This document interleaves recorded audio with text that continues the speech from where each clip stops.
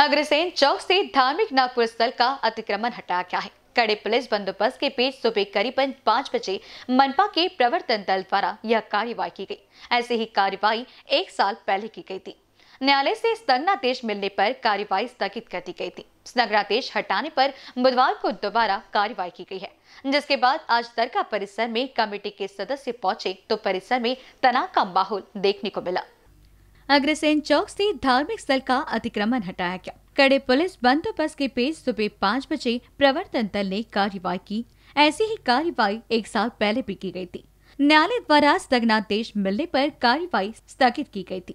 स्थगनादेश हटाने पर मनपा के प्रवर्तन दल ने यह कार्यवाही की है। लेकिन जब हमारी टीम ने परिसर का जायजा लिया तो इस दौरान पुलिस कर्मचारी और नागरिकों में तनाव देखने को मिला है। इस दौरान कांग्रेस के पूर्व शहराध्यक्ष शेख हुसैन ने कहा कि दरगाह को हटाना ये भाजपा का षड्यंत्र है। अग्रेसन चौक स्थित जो है दरगाह को एनएमसी द्वारा तड़के पाँच बजे जो है गिराया गया है जिसकी पूर्व सूचना भी दरगाह की ट्रस्ट की कमेटी को नहीं दी गई थी ऐसा भी इन लोगों का कहना है। हमारे साथ जो है शेख हुसैन है उनसे हम जानेंगे की क्या पूरा ये मामला है। ये दरगाह जो है मुराद अली शाह बाबा की सैयद दो सौ सतहत्तर साल हो गए इसको दरगाह। और ये जो दरगाह है, ये ज़मीन भी बाबा की है। आज उसके बाद अंग्रेज़ 1911 का रिकॉर्ड है हमारे पास में। अंग्रेज़ जमाने का नक्शा पास है, सात बारह है। और ये दरगाह, ये जो जगह भी है, ये महानगर पालिका की है ही नहीं। लेकिन ये दवाई मार्केट और महानगर पालिका के साल घाट से ये दरगाह को बार बार तोड़ा जाता है। हमारे समझ में देख बार दरगाह को तोड़ दी गई थी आपने। अभी बाबा नीचे बैठे हुए बार बार उसको तोड़ने की ज़रूरत क्या है? अभी देख लीजिए आपने बल्ली ला के ये फेंसिंग कर रहे हैं। ये दवाई मार्केट, ये जगह जगह को हड़पना चाहते हैं। और ये आज दो साल पुरानी दरगाह है।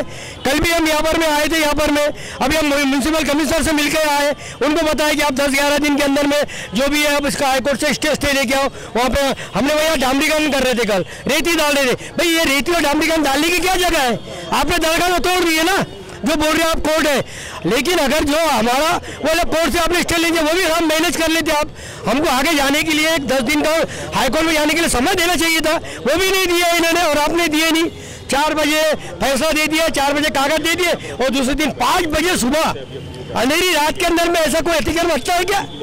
आपको काय का डर है? जब आपकी सब चीज़ है, आपका सब सही है तो आप इतने पाँच बजे सवेरे क्यों तोड़ रहे घर का हमने उनसे बहुत बहसबाजी बहुत नारेबाजी हुई। महानगर पालिका मुर्दाबाद अशोक पाटिल मुर्दाबाद और धार्मिक मंदिर दरगाह तोड़ना बंद करो ऐसा वगैरह हमने बहुत नारे लगाए और उनको मैंने कागज़ बताए। और उनको क्या लगता है म्यूनसिपल बात बताइए कोर्ट द्वारा निर्णय दिया गया था कि ये अनधिकृत दरगाह है करके? नहीं क्या हो गया मैडम की बीस तारीख को स्टेटस दिया कोर्ट ने और उसकी तारीख थी एक तारीख।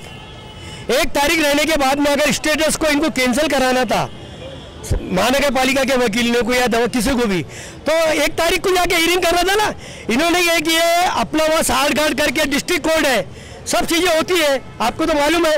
वहाँ जाके साठ गार्ड करके इक्कीस तारीख को केस लगा ली हियरिंग के लिए। इक्कीस बाईस को हियरिंग कर ली उन्होंने। मालूम नहीं क्या हुआ, क्या नहीं। और भी बाईस को फैसला भी नहीं दिए और अभी तीस तारीख को उन्होंने जो कोर्ट है उसने दिया कि स्टेटस कैंसिल ऐसा कैसे कैंसिल हो गया एकदम? एक तारीख रहने के बाद, एक तारीख के बाद हियरिंग होना था। फिर उसके बाद तुमने वेकट कराना था। तो ये सब दुनिया भर का कोर्ट पर हमारा विश्वास है। लेकिन ये कैसा हो रहा है, ये हमारे समझ में नहीं आ रहा। और इन्होंने रात के अंधेरे में सब काम हो रहा है। अब हम ये दरगाह वाले बेचारे, ये कहाँ जाएँगे? गरीब आदमी है। दुनिया भर के उनके खानदान की प्रॉपर्टी है, सब कुछ है कागज़ है। हमने बोले म्यूनसिपल कमिश्नर उनको क्या लगता है दरगाह रोड में? अब बताओ, दरगाह रोड में है क्या दरगाह? ये इधर एक बिल्डिंग है, इधर एक बिल्डिंग है। और रोड तो उधर आगे है ना? रोड का डामरीकरण करो ना हमने किसने मना किया तुम्हारे को? आज कई कई जगह पे बीच रोड में भी है, दरगाह मंदिर, लेकिन तुम तोड़ते नहीं ना सब जगह। और यही क्यों पीछे पड़े ये आज जगह को ये सालगाट करके कितने करोड़ लाख रुपए लिए, कितने लिए मालूम नहीं, अशोक पाटिल और दवाई मार्केट वालों ने साठ गाड़ करके एक जगह हड़पाने के लिए चार, छह दिन से मीटिंग चालू हो बोलते कारपोरेशन में। बताइए कौन सा इतना बड़ा इशू है कि शहर का कि जो चार पाँच दिन से वो मीटिंग ले रहे तो इस तरीके से आज हम सभी ये अल्पसंख्यक के अध्यक्ष और पूरे अल्पसंख्यक के और सभी कांग्रेस पार्टी की तरफ़ से कल विकास ठाकरे जी भी नागपुर शहर कांग्रेस कमेटी के अध्यक्ष और एमएलए आए थे और उन्होंने बोले, आंदोलन करो और ये हमारा शांतिपूर्ण आंदोलन है। हमारे आ, ये बताइए जो फैसला आया था कोर्ट द्वारा कि आ, मतलब दरगाह जो है उसे तोड़ दिया जाए ऐसा फैसला आया था इसकी कुछ आपको जानकारी थी? ऐसा कुछ होने वाला है? नहीं, नहीं हमको कोई जानकारी नहीं। बता एक्चुअल जो मनपा आयुक्त राधा कृष्ण बीके पाटिल ने जो हरकत करी है यहाँ पे नागपुर शहर में जो मंदिर और दरगाहें टूटी है उसको रात के अंधेरे में आज तक तोड़ा नहीं गया। ये राधा कृष्ण बी के पाटिल ने दवाई मार्केट वालों से, अशोक पाटिल ने साठगांठ करके, ये सुबह के पाँच बजे ये जो हरकत करे है, गंदी हरकत करे इन्होंने। अगर आपके पास पावर था कोर्ट का जो आर्डर आया था, आपको भी मानने है और हमको भी मानने हैं, लेकिन वो आर्डर के तहत हमको आपने बताना चाहिए था कि भाई आज हम ये दरगाह शहीद करने जा रहे हैं या तोड़ने जा रहे हैं। उस तरीके से हम आगे की कार्रवाई करते थे। वहाँ फातिया दुरुद जो भी हमारी जो आपके जबान में जो बोलते हैं पूजा पाठ हम वो करके उसको पूरी तैयारी करते हैं उसके बाद उनको इजाज़त देते हमसे इजाज़त लिए बिना उन्होंने हमें बिना बताए सुबह पाँच बजे बंदोबस्त पुलिस लगाकर ये सब काला कारनामा करे। ये पूरी दवाई मार्केट वालों के साथ व्यापारियों के साथ ये साठगांठ की गई है। ये अशोक पाटिल का बहुत बड़ा काला कारनामा है। आगे क्या मांग है?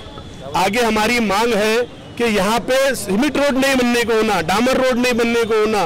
हम आगे अभी आज हमने जो राधा कृष्ण बीके पाटिल, मनपा आयुक्त को जो विज्ञापन धरना आंदोलन दिए हमने, उन्हें हमें, उन्होंने हमें टाइम दिए हैं कि आपको 10 तारीख तक के 11 तारीख तक के हम आपको टाइम देते हैं कि आप कोर्ट से स्टे ला लो और उसके बाद 11 तारीख के बाद हम हमारी कार्रवाई करेंगे। तो हमारी तैयारी यही है, हम कोर्ट जा रहे हैं और कोर्ट का डिसीज़न जो आएगा हम मान्य करेंगे। हमने उनको एक बात कहा कि भाई, आप एक बार ये विज़िट तो करो, आप देख तो लो। आपको अशोक पाटिल बोलता है, वही चक्कर में कर रहे हैं। उनको ये नहीं मालूम रोड है करके रोड नहीं है ना ये? चलता फिरता, अपन यहाँ खड़े कहाँ से कौन सी गाड़ी जा रही है यहाँ पर में? तो हमने उनको बताया, और ताजुद्दीन भाव का उस चालू है। और ऐसे पूरे नागपुर से हिंदुस्तान से लोग यहाँ आए हुए और ऐसे दम में दरगाह को तोड़ना, ये नागपुर की शांतता को भंग करने का काम, ये बीजेपी का षड्यंत्र है। नागपुर शहर के अंदर में ये कुछ ना कुछ दंगा प्रसाद कराना चाहते हैं ये उनकी राजनीति है, इसलिए हम उसका भी निषेध करते हैं। जो अग्रसेन चौक स्थित अग्रसेन चौक स्थित जो दरगाह तो, को जमींदोज किया गया है अनधिकृत होने के नाम पर। यहाँ पर जो शेख हुसैन है उन्होंने बताया है कि ये बीजेपी का षड्यंत्र है ऐसा भी आरोप जो है बीजेपी पर शेख हुसैन द्वारा लगाया गया है। अब देखना होगा कि आगे इस मामले में क्या मोड़ आता है। दरगाह के जो सेवक हमारे साथ हैं हम उनसे जानेंगे कि क्या पूरा वाकया था। क्या बताओ?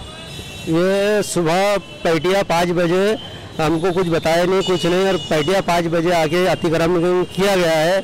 और ये अतिक्रमण नहीं है क्योंकि इसके पूरे डॉक्यूमेंट पूरे दरबार के पूरे डॉक्यूमेंट है। और और हमको बोलते हैं अनधिकृत बोल के ये पूरा गिराया गया जिसमें कि एक ही बार कार्रवाई होती है बार बार कार्रवाई नहीं होती पर इस जगह के ऊपर में दो बार कार्रवाई कर चुके हैं एनएमसी लोगों ने इसके ऊपर में। तो अभी फ़िलहाल जो है आपकी ट्रस्ट की ओर से क्या मांग की जा रही है? कौन सा कदम उठाया गया है? क्या बताओगे? इसका केस कोर्ट में चालू है। और कोर्ट में चालू रहने के बावजूद भी ये बोलते हैं कि हम उसको जो कोर्ट में केस चालू हम उसको नहीं मानते हैं, यानी कहने का मतलब वो उसको फॉलो नहीं कर रहे हैं, और इसके टैक्स की रसीद है इसकी इसकी जमाबंदी है, और इसका उन्नीस सौ ग्यारह बारह का रिकॉर्ड है, इसका बिल्डिंग परमिट है सेंक्शन मैप है, और टैक्स की रसीद है, और ये बहुत दो सौ सतहत्तर साल, दो सौ सतहत्तरवा उर्स हुआ है पिछले साल, यहाँ का दो सौ सतहत्तरवा उर्स हुआ है यहाँ का और ये अनधिकृत बोल के इसको गिराया गया। जिसमें कि एक बार कार्रवाई हो चुकी थी तो दोबारा इसके ऊपर में कार्रवाई करे इन लोगों ने। तो आपका कहना है कि ये अनधिकृत नहीं नहीं है। इसके पूरे डॉक्यूमेंट है और इसका केस चालू है अभी भी कोर्ट में। और अभी हम कोर्ट से ही जाके आए हैं और हमारे पास पूरे डॉक्यूमेंट अभी फ़ाइल के अंदर में है। हम अभी वो अपना हमारे वकील साहब को देने जा रहे हैं। कोर्ट में आपकी जो केस शुरू है कोर्ट द्वारा क्या मतलब निर्णय लिया गया था क्या आपको बताया गया था क्या बताओगे? निर्णय कोर्ट में ये लिया एनएमसी बोलती है और ये एनएमसी वाले कारपोरेशन जो है इनसे लेती प्रोटेक्शन लेके ये काम को अंजाम दे देती है। ये जो जगह है ये हमारी समझ लो बाबा के मालिकी की जगह है और इसके पूरे डॉक्यूमेंट्स जो है शुरू से लेके आज तक हमारे पास है जिसमें उन्नीस का बिल्डिंग सेंक्शन मैप 1950 का बिल्डिंग परमिट और उसके अलावा सात बारह उसके सात बारह नाम से है। और उसके अलावा उन्नीस सौ ये जो कायदा आया है क्या बोलते हैं अपना अनऑथराइज कंस्ट्रक्शन को गिराने का, ये कायदा 1960 के पहले के स्ट्रक्चर पर लागू नहीं होता।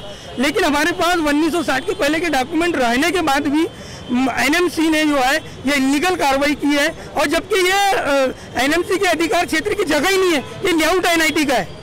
ये लेआउट एनआईटी का है, जो भी कार्रवाई करने का अधिकार था वो एनआईटी को था, लेकिन नियम के विपरीत जाकर एनएमसी ने कार्य किया है, कुछ लोगों के प्रेशर में आकर तो और जिस यानी उपायुक्त ने जो ये किया है, उसके ऊपर सख्त सख्त कार्रवाई होना चाहिए, ये हमारी मांग। कैमरा पर्सन माइकल रामपुरे के साथ मैं क्षितिजा देशमुख, बी न्यूज़ नागपुर।